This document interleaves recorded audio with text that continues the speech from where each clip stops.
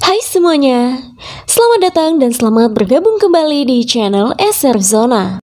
Rambut boleh sama hitam, tapi isi kepala siapa yang tahu?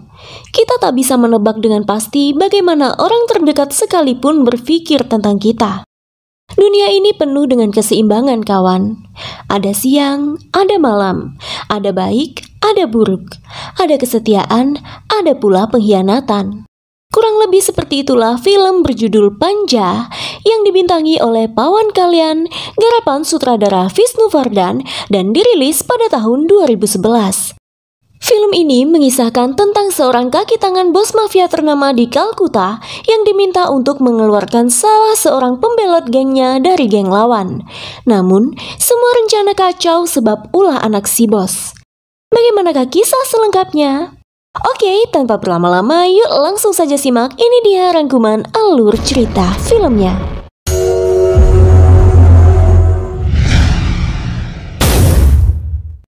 Pada sebuah ruangan, salah seorang tengah mengusulkan rencana pembunuhan Bagawan, bos mafia ternama Kalkuta, pada saat penjemputan putranya ke India dengan menanam bom rakitan berbahan dasar gelatin di sebuah gorong-gorong.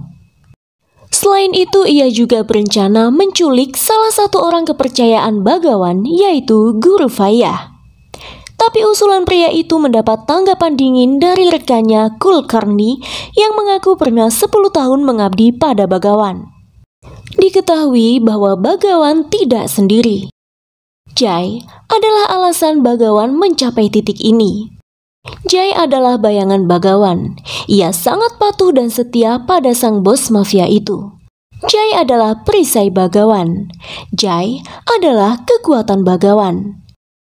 Jai sangatlah disiplin. Ia selalu mengatur waktu pada jam tangannya dalam menyelesaikan tugas. Dan saat ini, Jai tengah menyelesaikan tugasnya. Ketika rekan Kulkarni mencoba membunuhnya, Jai sudah lebih dulu membom mereka.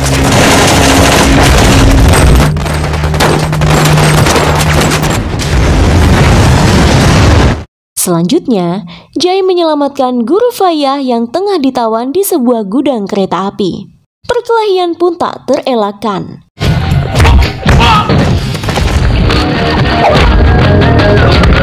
Jai berhasil menyelamatkan guru. Belum berhenti di situ, Jai juga menyapu bersih bom rakitan yang telah dipasang rekan Kulkarni di sebuah gorong-gorong. Kemudian memasangnya kembali pada mobil mereka. Bagawan dan putranya Muna pun selamat dari ledakan. Muna, putra Bagawan, adalah seorang psikotik. Ia juga memiliki tabiat buruk dan tak tahu sopan santun. Meski begitu, Bagawan sangat menyayangi Muna dan memajakannya. Setelah itu bersama guru, Jai mendatangi Kulkarni. Jai tahu bahwa pemasang bom itu adalah Verbu, teman Kulkarni. Kulkarni justru memberi Jai penawaran khusus untuk mengkhianati Bagawan dan bergabung dengannya guna kelangsungan bisnis yang tengah dirintis.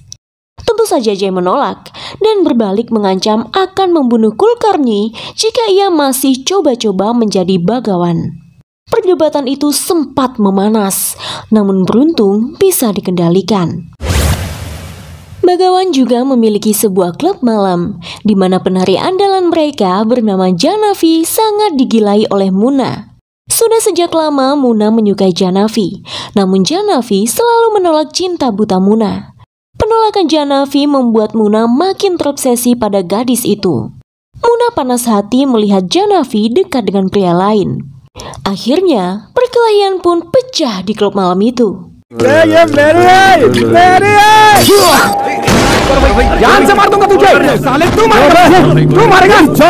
Beruntung Jai segera datang melerai keduanya.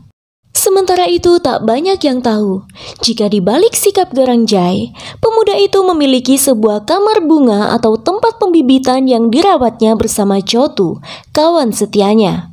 Dan di situlah Jai pertama kali berjumpa dengan seorang gadis pecinta flora dan juga aktivis sosial lingkungan hidup bernama Sandhya. Mereka saling jatuh cinta meski belum satupun dari mereka mengungkapkan perasaannya.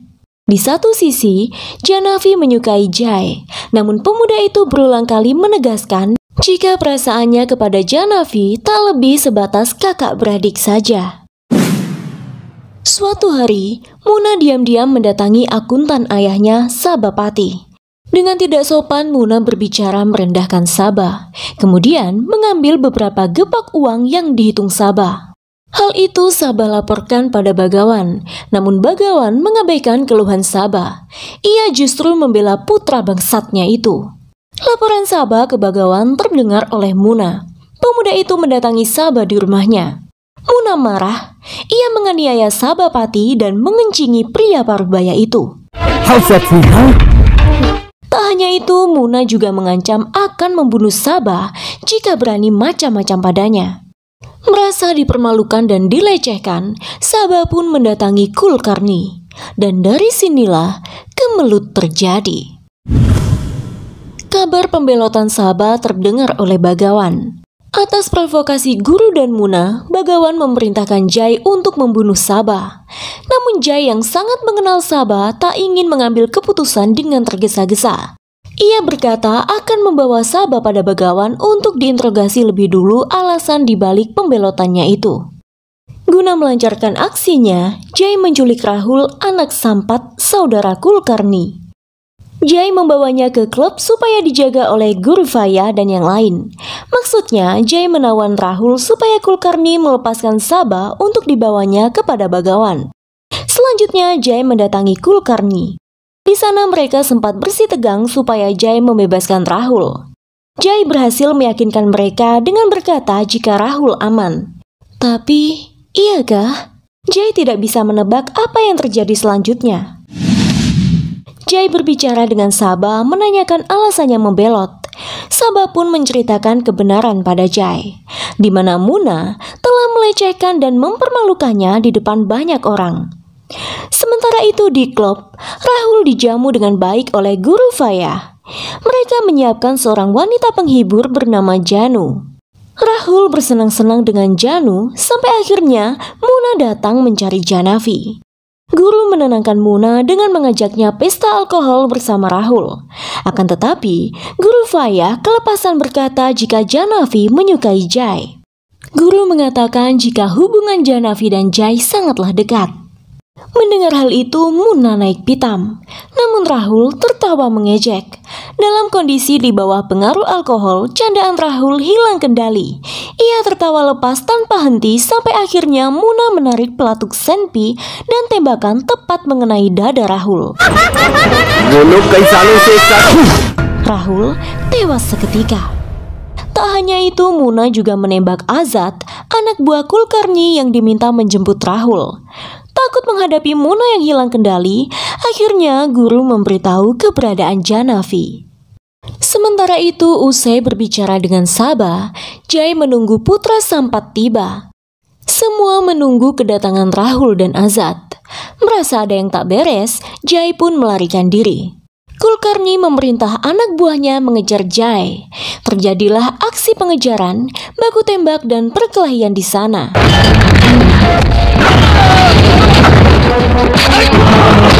Sampai akhirnya, Jai berhasil meloloskan diri dari mereka. Dalam perjalanannya, guru menelpon Jai menceritakan insiden yang baru saja terjadi. Sementara saat itu, Muna sudah tiba di flat Jai mendatangi Janavi.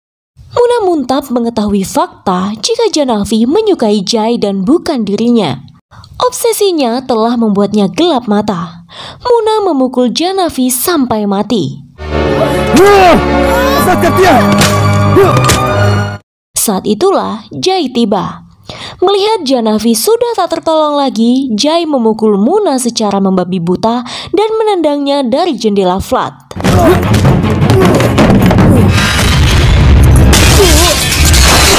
Muna terjun bebas, tubuhnya mengenai kap taksi yang ditumpangi Guru Faya. Muna tewas seketika.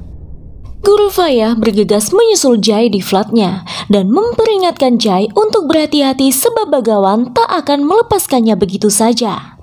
Jai tidak takut sebab ia bukan pengecut. Ia bertekad akan menemui Bagawan dan menceritakan kebenarannya. Akan tetapi, di tengah jalan ia dihadang oleh Narsing, anak buah Bagawan yang diperintah membunuhnya. Tak ada pilihan lain, Jai pun terpaksa meladeni adegan baku hantam itu. Usai perkelahian itu, Jai menemui Chotu di kamar bunganya. Kepada Chotu, Jai menceritakan semuanya. Jai meminta Chotu melarikan diri untuk menyelamatkan hidupnya, sebab ia pun akan lakukan hal yang sama. Situasi tak memungkinkan bagi Jai melanjutkan planning menemui Bagawan. Sebab bisa dipastikan perdebatan akan memicu Jai menarik pelatuk Senpi pada bos mafia yang sangat dihormatinya itu.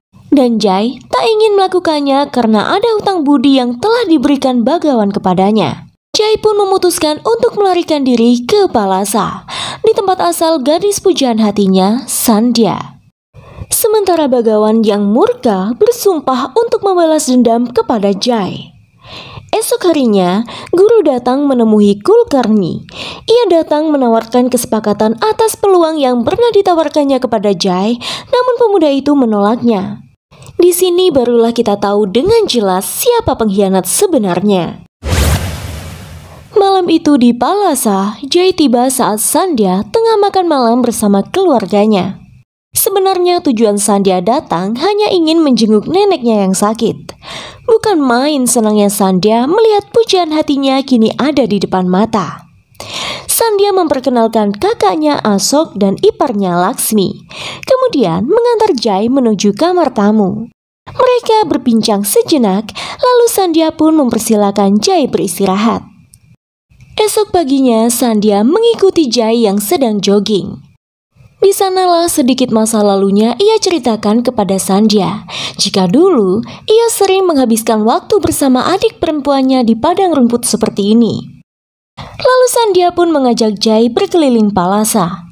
Selama perjalanan hingga pasar, Jai merasa ada yang sedang mengawasinya. Jai tetap waspada, tapi ia tak memberitahu Sandhya sebab enggan membuat gadis itu khawatir. Sementara itu di Kalkuta, sejak hilangnya Jai, persaingan gangster Bagawan dan Kulkarni semakin sengit. Kerajaan bisnis Bagawan perlahan runtuh. Ia kehilangan kekuasaan dan orang-orang kepercayaannya pun sudah bergandeng tangan dengan Kulkarni.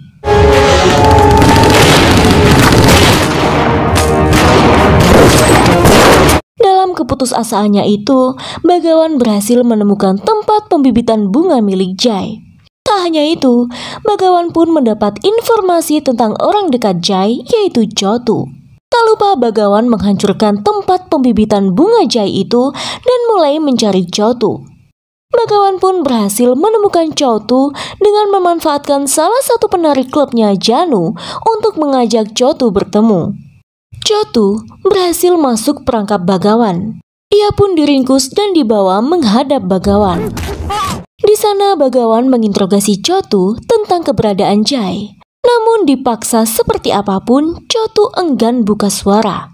Sampai akhirnya, Narsing mendapatkan foto Jai bersama Sandhya. Ia memberitahukan hal itu kepada Bagawan, lalu Bagawan pun menutup bab Chotu dengan membungkus kepala Chotu menggunakan plastik supaya tak dapat bernafas.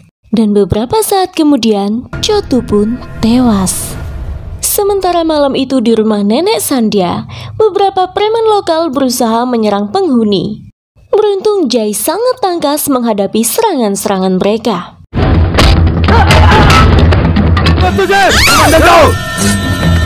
Bersama Ashok, Jai pun berhasil membuat para preman itu kewalahan dan akhirnya mereka melarikan diri.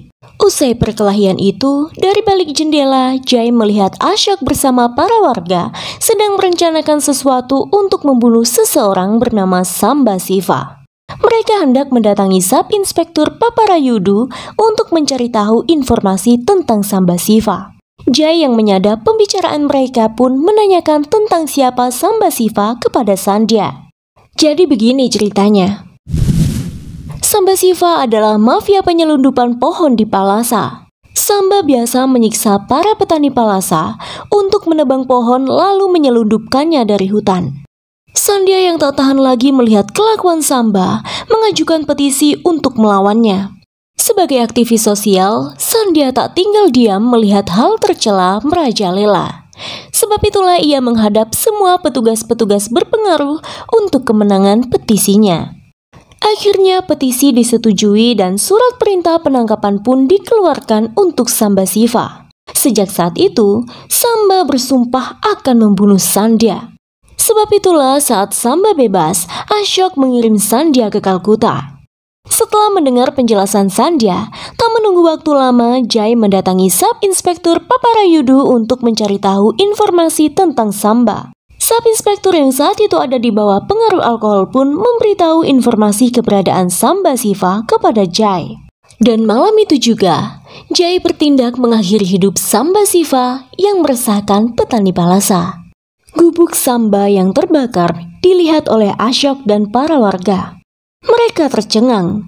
Selain itu, Ashok menemukan tas sub inspektur di tempat kejadian. Esok paginya, ramai orang melihat jasad Samba Siva tergantung secara terbalik di sebuah batang pohon. Sub Inspektur Paparayadu yang tersadar dari mabuk semalam pun terkejut dengan pemandangan di depannya. Sementara Jai dan warga memberikan apresiasi kepada Sub Inspektur atas aksinya telah membunuh Samba. Jai meyakinkan sub inspektur jika ia melakukannya di luar kesadaran saat berada di bawah pengaruh alkohol dari mabuk semalam. Meski terbersit sedikit keraguan dalam diri Ashok bahwa sub inspektur Paparayadu yang melakukan hal itu, namun ia mencoba menerima kenyataan yang dilihatnya. Siang itu, saat berdua dengan Sandhya, Jai mulai mengaku jika dirinya lah yang membunuh Samba Siva, bukan Paparayadu. Ia mengungkapkan alasan dibaliknya adalah demi menyelamatkan Sandhya. Dari situlah Jai menceritakan masa lalunya, mana setelah ayahnya meninggal, ia, ibu, dan adik perempuannya datang ke Kalkuta untuk mencari nafkah. Tapi musibah menimpanya. Ibu dan adik perempuannya dilecehkan di sana. Jai merasa sekarat dalam ketakutan. Ia tak tahu bagaimana cara melindungi mereka saat itu. Tak sampai di situ, setelah dilecehkan, adik perempuan dan ibu Jai dibunuh oleh para manusia laknat itu. Seketika Jai merasakan kiamat kecil dalam hidupnya. Dan saat itulah Bagawan datang bak menghibur orang yang sedang berduka. Ia memberikan keberanian untuk pria yang ketakutan dan membantu orang yang tak berdaya. Bagawan mengajarkan pada Jai bagaimana melampiaskan dendam dan amarahnya. Jai menembak mati para pelaku pelecehan dan pembunuhan ibu serta adiknya itu.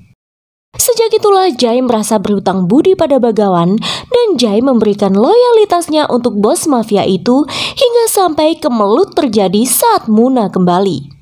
Ternyata masa lalu dan latar belakang Jai tak menggoyahkan cinta Sandhya sedikit pun. Gadis itu mencintai apa adanya Jai. Usai pertemuan dengan Sandhya, tiba-tiba Jai diserang oleh Sampat dan anak buahnya.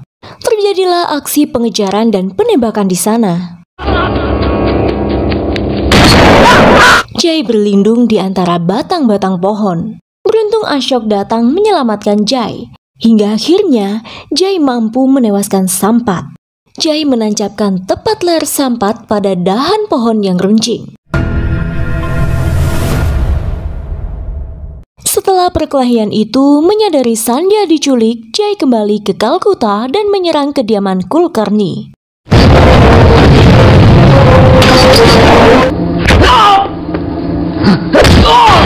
Sempat terjadi baku tembak dan perkelahian di sana sebelum akhirnya Jai mengetahui dari Kulkarni jika Guru Fayalah dalang dibalik semua kekacauan ini.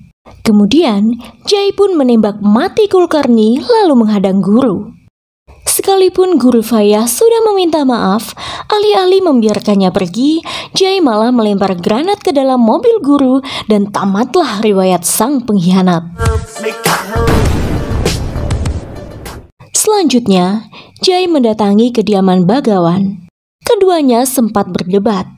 Bagawan menyebut Jai tidak tahu diri dan tidak tahu terima kasih karena ia telah diangkat dari jalanan dan diberikan kehidupan tapi justru malah membunuh putranya.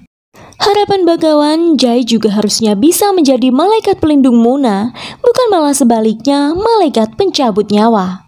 Sementara Jai menyangka ia tidak akan membunuh begitu saja tanpa alasan yang jelas.